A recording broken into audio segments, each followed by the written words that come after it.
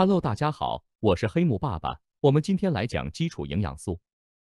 基础营养素指食物中的热量及其他有利健康的成分。在营养学中解释到，食物中营养素和其他物质与生物体的维持、生长与繁殖是健康和疾病相互作用的科学。基本营养素包含巨量营养素与微量营养素以及植物营养素。这些营养素能够帮助身体调节生理机能，维持建造身体组织，并提供身体能源，调节新陈代谢，维持身体的健康。巨量营养素与微量营养素及植物营养素，每一个都是人体不可或缺的关键。基础营养素是维持生命的物质基础，没有这些营养素，生命便无法维持下去。不论是小孩。大人或者是长辈，身体都需要营养素来打好基础。当身体能完整摄取这些基础营养素时，就能拥有更加健康的身体以及生活。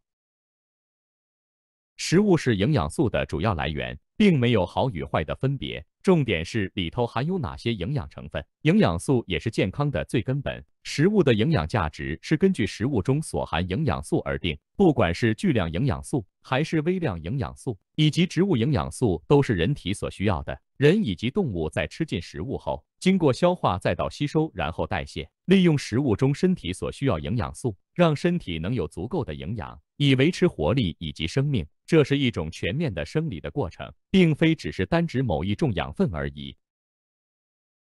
人体所需要的基础营养素大约有五十几种，这些营养素在体内功能各不相同，主要可分为三种：一、供给人体所需生理以及体力活动需要能量；二、提供修补身体组织的材料；三、身体物质代谢与调节。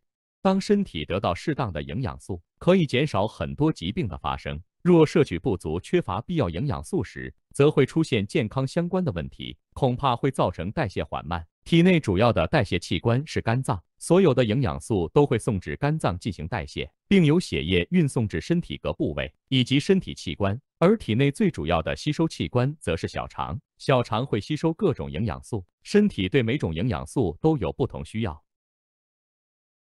绝大多数的食物中不仅只含有一种营养素，而营养素在不同种类的食物中的含量也不太一样。当然，生鲜食物基本上会比加工食品含有更多营养素的成分，因此均衡饮食才是让身体获得最全面营养素的主要方法之一。如果平常想要让身体能够摄取较为均衡足够的营养素，不妨可采用彩虹饮食法或保健食品等等方式摄取。彩虹饮食法。主张的就是摄入多彩的蔬果食材，让身体有更加丰富的营养素。彩虹饮食法将食物分类成七种颜色：红、橙、黄、绿、蓝、黑、白。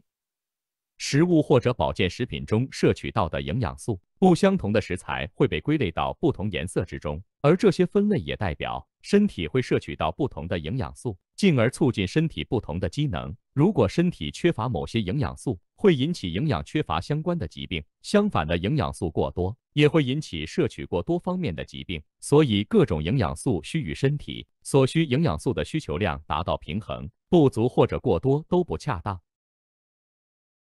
身体的健康等于数字一，然而现金、房子、车子、能力、家庭等等，全都只是加在一后面的零而已。这意思也就是说，少了健康，其他的一切只是空谈的。只有拥有健康的身体，你所有努力来的其他一切事物，才是真的具有意义的事情。记得千万不要让你的健康离你而去。在此特别感谢大家愿意把影片看到最后，有大家的支持与鼓励。是这频道继续制作影片最重要的原动力。如果你愿意支持与鼓励这频道走得更远，欢迎分享、订阅以及开启小铃铛，这样就能够在影片更新时第一时间获取通知。期待我们下部影片再次的相遇。